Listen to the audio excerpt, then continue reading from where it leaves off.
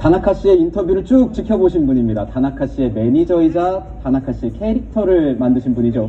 개그맨 김경욱 씨 모셨습니다. 어서 오십시오. 네, 안녕하세요. 네, 네. 네, 쭉 지켜봤습니다.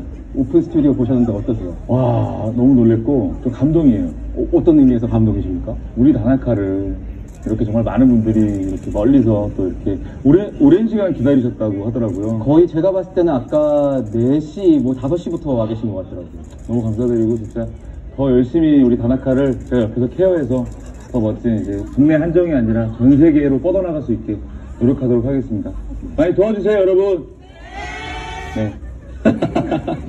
자, 다나카의 매니저이기 이전에 네. 또 본인도 개그맨이지 않습니까? 네, 뭐 정확하게는 기획자가 맞을 것 같아요. 기획자가 맞을 것 또 같아요. 현장에는 또 우리 또 다른 매니저분이 따라다니시면서 또 케어를 해주기 때문에 기획자로서 네 기획자 예 그렇군요. 개그맨 김경욱 씨에 대해서 여쭤볼 수 있는 거죠. 네네네네. 개그맨 김경욱 씨도 이때까지 많은 캐릭터를 소화한 걸로 알고 있습니다. 네네네. 그 중에 가장 마음에 드는 캐릭터는 어떤 게 있습니까? 그래도 가장 또 사랑을 받고 저에게 또 많은 그 인기를 줬던 캐릭터는 바보킴. 바보킴? 네. 바보킴 저는 기억나는데 혹시 기억 안 나시는 어. 분들을 위해서 혹시 하나 조그만 뭐 해드려 해드려야죠. 네.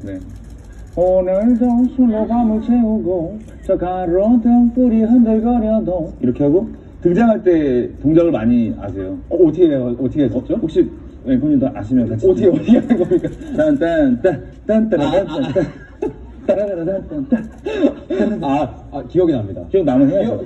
몸이 몸이 기억하시. 어, 어떻게 대, 대충 자 이렇게 하나 하나 둘 셋 어 완전 몸치네요. 이게 안 돼요. 안 돼요. 안 돼요. 아 죄송합니다. 어 그래도 이거 미리 연습을 해오셨어야 되는데 기분이 나쁘네. 아, 그럼 다나카에 대해서 좀 여쭤볼까 네네. 해요. 네. 다나카는 유튜브에서 굉장히 인기가 많은 예, 예. 분인데 네. 처음에 다나카를 기획하게 된 계기가 어떻게 되십니까? 아, 다나카가 비주얼이 너무 또 좋았어요. 제가, 아, 5년 전에 그 일본에 놀러 갔을 때 길거리에서 열심히 그, 뭐라 그러지, 명, 명함을 돌리고 있던 다나카를 제가 우연히 발견하고 그래서 다가가서 촉이 오거든요. 기획자로서. 야, 저 친구 한국 데려가서 데뷔시키면은 분명히 반응 오겠다 싶어가지고, 네. 아니 원래 좀 계획을 기획을 누군가 기획을 하러 가신 거예요? 아니면은 딱 가니까 놀러 갔는데 우연히 다나카가 딱 눈에 들어오신 겁니까?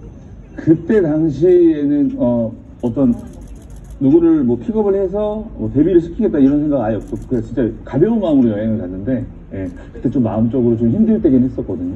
근데 아, 내가 앞으로 뭐 공연을 하고 있긴 했지만 어떻게 하면 공연을 더 재밌게 만들 수 있을까 그리고 이 공연을 더 많은 분들에게 알릴 수 있을까라고 고민을 하던 찰나긴 했었어요. 음. 그래서 머리를 좀 식히러 갔는데 정말 하늘에서 내려주신 것처럼 그 친구가 열심히 춤을 추면서 이 명함을 돌리고 있더라고. 호객행위를 하고 있더라고요. 그 친구의 직업이 직업인지라. 아 네. 그런데 사실 그 직업이니까 네, 뭐. 아이고야 직업인데 네. 그 분이 개그를 잘 아니 그 개그 캐릭터가 아니죠. 약간 어렵죠?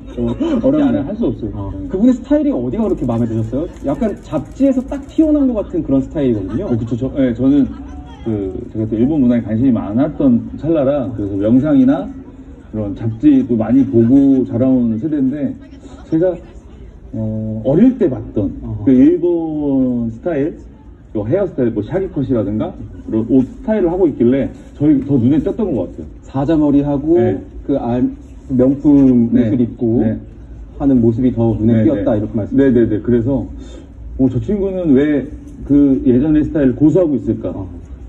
약간 자기만의 확실, 확실한 그 뚝심이 있는 것 같아서 좀 매력적으로 다가왔던 것 같아요, 저한테. 어허. 너무 궁금했고, 그래서.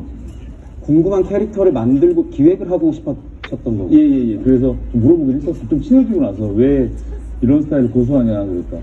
아, 돈이 없어서. 돈이 없어서. 그냥 같은 옷을 입을 뿐이고, 아무런 뭐 맥락이 없긴 했었어. 그 친구가 어떤 생각을 가지고서 그런 스타일을 하는 게 아니라, 진짜 돈이 없어서, 아, 그 옷을 계속 입었던 거라, 더라고 하더라고요. 아 그렇군요. 근데 우리나라에서 어떻게 어 먼저 하시죠. 네. 어, 아유, 감사합니다. 여기 또 뭐, 뭐, 뭐 써놨어요. 오일식품을. 아, 다나카 건데 먹어도 되나요? 다나카 뭐 매니저시니까. 여기, 여기 얘는 물 한 잔도 안 먹었네. 그러게요. 목 타는 일이 없었나 봐요. 질문, 봤는데 질문이 굉장히 당황, 당혹스러운 질문들이 좀 있었는데. 오, 아주 침착한, 물 먹는 것도 까먹을 정도로 힘들었나 본데요. 아 그런가 본데요. 제가 너무 질문을 많이 너무. 짓궂으신 거 아니었습니까? 아 저도 세계관에 빠져들어야 되는데 지금. 세계관이라. 아 아닙니다. 아닙니다. 아닙니다. 네. 어떻게 보면 그래도 기획자시니까 한국에서 활동하는 기획자 아니십니까? 네네네. 그런데 일본 개그나 일본 개그맨 이런 부분은 한국에서 잘 안 먹힐 수도 있다 이런 생각이 드셨을 수도 있을 것 같아요. 아, 금기의 영역, 뭐 근단의 영역 이런 얘기도 있습니다 방송가에서는. 네네네. 꼭 일본 캐릭터 이 사람이어야 된다라는 생각은 어떻게 해두신 겁니까? 사실 그 한국 분들이 뭐 일본말을 쓰거나 방송에서 그리고 뭐 일본 노래를 부르게 되면 약간 좀 꺼리, 꺼리는 게 없지 않아 있잖아요. 기피하고. 근데 해도 되는 이유는 다나카는 일본 사람이기 때문에 다나카가 일본 말을 하고 일본 노래를 부르는 건 당연한 거잖아요. 그래서 보시는 분들도 어 일본 사람이 일본 말을 하고 일본 노래를 하고 일본 개그를 하네 이렇게 받아들여 주시는 게 아닐까라는 생각이 듭니다. 그 처음에 이제 이렇게 길거리 캐스팅 하셨을 때, 어, 이 친구 먹히겠구나라는 생각이 드셨어요? 왜냐면 일본이라는 이 문화 자체가 받아들이기에는 좀 힘들 수도 있고. 음, 그쵸. 그런 걱정을 좀 하, 그런 걱정을 하긴 했는데, 네, 어, 제가 사람 대 사람으로 봤을 때 다나카는 너무 매력적이에요. 그래서 그런 저변이 있고 그런 기본 기본 자기가 갖고 있는 일본인이라는 그게 있지만 분명히 제가 데뷔를 시키면 우리 나라 분들이 분명히 이 사람을 보고 좋아해 줄 거다. 사람에게 끌리는 뭔가가 있기 때문에 그래서 그걸 먼저 봐주지 않으실, 않으실까라고 생각을 해서 저는 좀 이렇게 밀어붙인 건 있어요.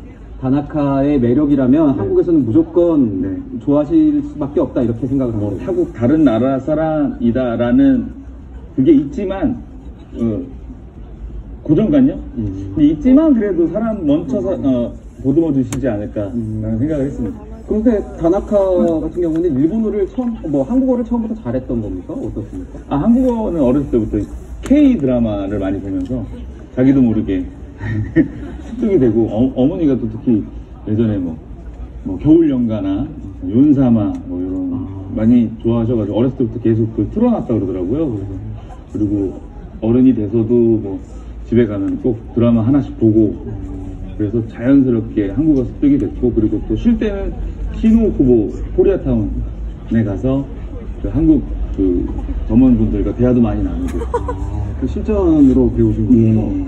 그런데 한국어를 굉장히 잘하시는데, 아니, 매니저 입장에서는 그분의 모국어인 일본어를 좀 배우셨어요? 어떠세요? 어, 저, 저는 저, 저도 배웠죠.